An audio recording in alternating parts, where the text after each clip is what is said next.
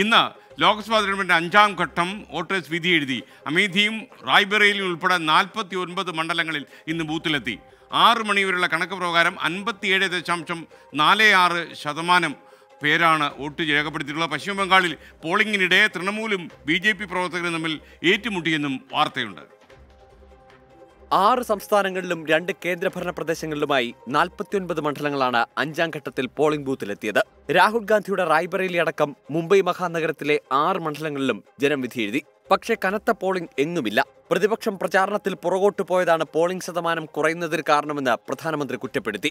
വോട്ടിംഗിനിടെ സ്ഥിതി വിലയിരുത്താൻ J P നദ്ദയുടെ അധ്യക്ഷതയിൽ ബി ജെ പി ഡൽഹിയിൽ യോഗം ചേർന്നു. ജനത്തെക്കുറിച്ച് ചിന്തിക്കാതെ മോദി സർക്കാർ വില കുറഞ്ഞ രാഷ്ട്രീയം കളിക്കുകയാണെന്ന് കോൺഗ്രസ് കുറ്റപ്പെടുത്തി. പശ്ചിമബംഗാളിൽ പോളിംഗിനിടെ വ്യാപക അക്രമ സംഭവങ്ങളാണ് അരങ്ങേറിയത്. പലയിടത്തും തൃണമൂൽ കോൺഗ്രസ് ബി പ്രവർത്തകർ ഏറ്റുമുട്ടി.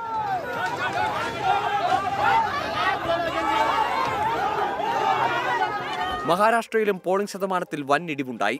പോളിംഗിലെ വേഗം കുറയ്ക്കാൻ തെരഞ്ഞെടുപ്പ് ഉദ്യോഗസ്ഥർ ശ്രമിക്കുന്നതായി ഉദ്ധവ് താക്കറെ കുറ്റപ്പെടുത്തി. തെരഞ്ഞെടുപ്പ് കമ്മീഷന്റെ ഇടപെടൽ ഉപമുഖ്യമന്ത്രി ദേവേന്ദ്ര ഫട്നാവിസും ആവശ്യപ്പെട്ടു. കനത്ത ചൂടിൽ ചുട്ടുപൊള്ളുന്ന വെയിലാണ് മഹാരാഷ്ട്രയടക്കം ഉത്തരേന്ത്യൻ സംസ്ഥാനങ്ങളിൽ പോളിംഗ് നടന്നത്. അതുകൊണ്ട് വോട്ടിംഗ് ശതമാനം കുറഞ്ഞതിന് ഇതടക്കം പല കാരണങ്ങൾ രാഷ്ട്രീയ പാർട്ടികൾക്ക് പറയാനുണ്ടാകും. പക്ഷേ ഈ കുറഞ്ഞ പോളിംഗ് ആരെ തുണയ്ക്കുമെന്നറിയാൻ ഫലം വരും വരെ കാത്തിരിക്കേണ്ടി വരും. വിവിധ ബ്യൂറോകൾക്കൊപ്പം മുംബൈയിൽ നിന്നും ശ്രീനാഥ് ചന്ദ്രൻ ട്വന്റി